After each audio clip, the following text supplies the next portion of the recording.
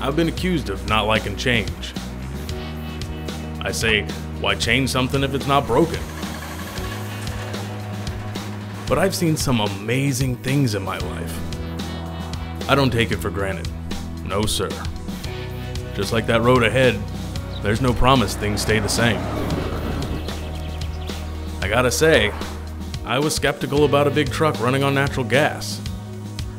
But after only a few miles, I began to realize this makes a lot of sense. The stuff comes from right here in the USA. It costs less, and I don't smell like diesel at the end of the day.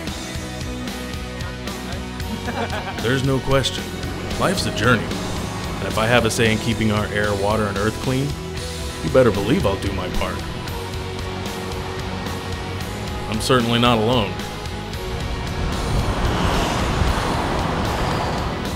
Guess we all just do what makes sense.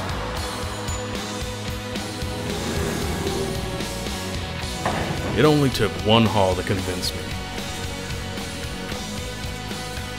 Seems things don't have to be old fashioned to be clean and simple.